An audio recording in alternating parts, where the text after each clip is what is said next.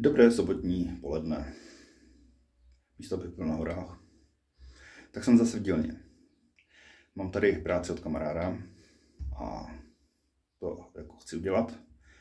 A řekl jsem, že budu ukazovat zajímavosti. Takže první zajímavost. Čepelka koupená na e-shopu od firmy Brisa Přijde mi docela dost dobrá, kvalitní, pružná. Nevím, jestli to vidíte, ale normálně se nebojím zapružit o klidně 20 stupňů. Pružnost perfektní a bude to sloužit jako nůž rybáře. Takže udělal jsem tuning jíme vyrobené rukojeti, takže tam měl nějaké nedostatky, spraveno.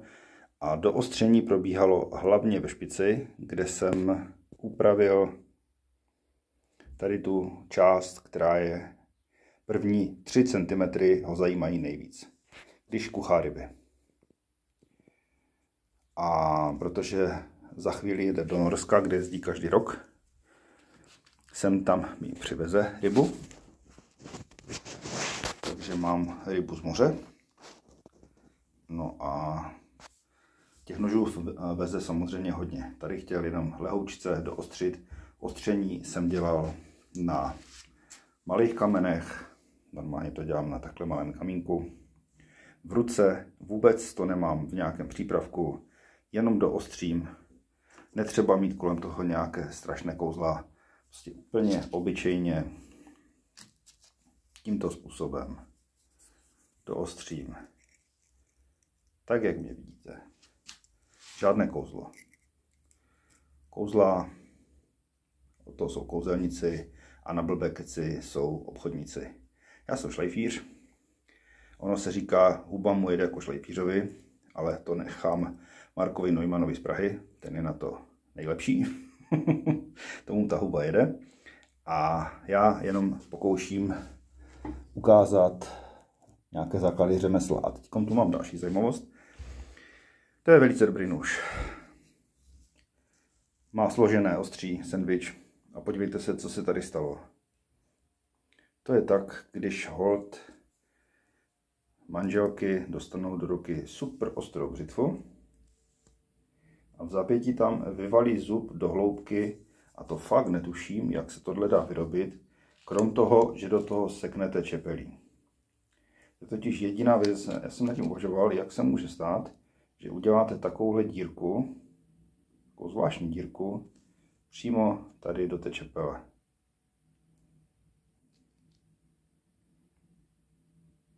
No nic no, já nemám jinou možnost, než že první polovinu, asi přibližně od mého palce, víc zakulatím.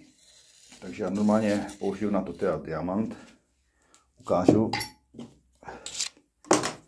Nemůžu to vzít na brusku, je to trochu opruser, je to, to ostří je velice tenoučké, takže takhle budu diamantem tak dlouho šudlat, až ten zoubek dám pryč a teprve potom vymodeluju na kamenech standardním postupem znova tohle supreme ostří. Tohle jsem naostřil opravdu tak, že ten konvex je v 10 stupních. Takové kde nic, tu nic, prostě japonská břitva. Takže tohle je další zajímavost. A další zajímavostí je nůž od firmy Datsobi který když koupíte, tak je úplně příšerný, už jsem to ukazoval, prostě je to hranaté škaredé fuj. Takže jsem totálně tunil rukojeť, znova jsem to napustil olejem a teď ten původní břit toho ostří budu trošku upravovat a budu z té fazety dělat trošku konvex. Takže standardní postup, který mám rád, prostě z klínu, fazetu udělám lehce konvexovou, a zase to pojede na ryby. Takže tyhle tři nože jsou teď nachystány, plus mě čeká oprava do ničených nůžek a do ničených, no, co bych na to řekl, no prostě dobíte to jak svině rezavém, takže i, i tohle se ke mně dostane. Krása, co?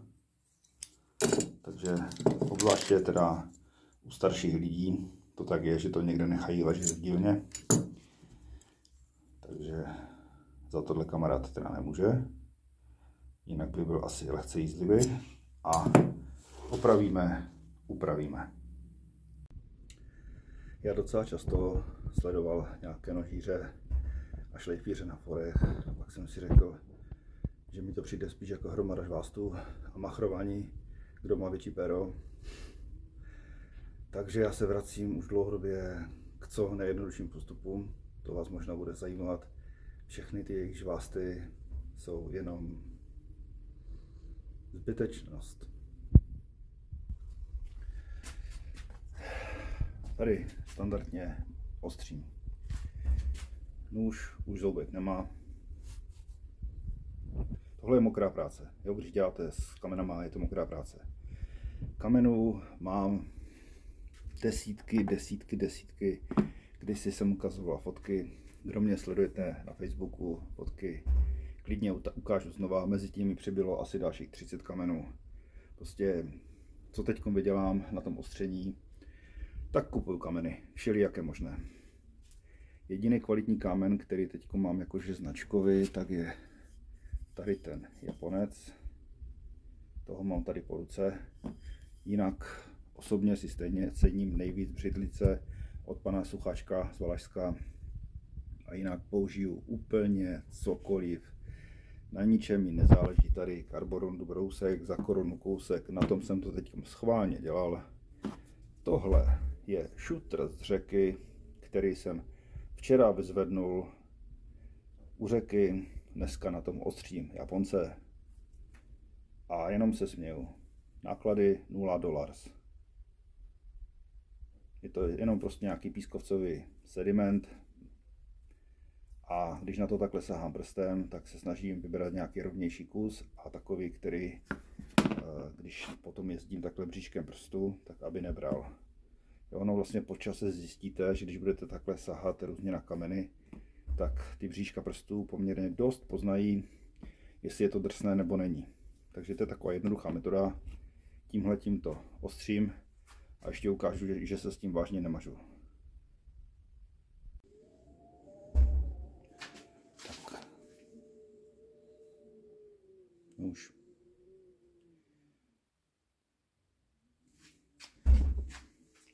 Minimálně to namočím do vody. Mám tam prst, mám. Tak. Základní ostření. Furt v pohodě.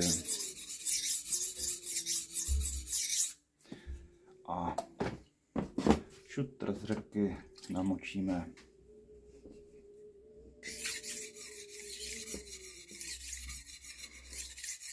a ostřím.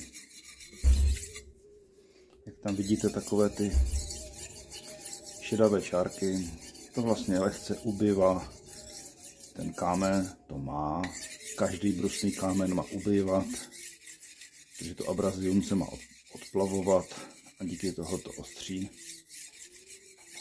No a tímhle způsobem v pohodě kdekoliv naostříte nůž, bez toho, že byste se mu klaněli. Jako můžete se třeba zkusit pomodlit, nevím, jak moc na to dáte. Zkusíme. Um, mani padme hum. Dobré, nic. Ostříme dál.